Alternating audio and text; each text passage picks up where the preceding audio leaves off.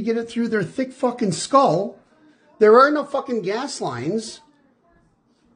I know. I'm getting sick of this freaking crap already. This is ridiculous.